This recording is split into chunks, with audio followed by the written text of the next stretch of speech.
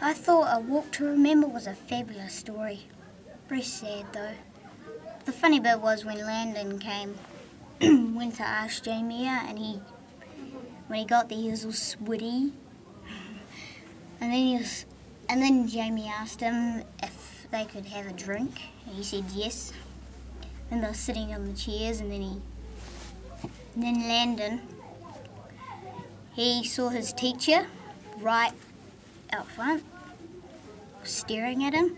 So he moved a little away from Jamie, and then he moved in the sun. And then Jamie was like, "Why are you in the sun?"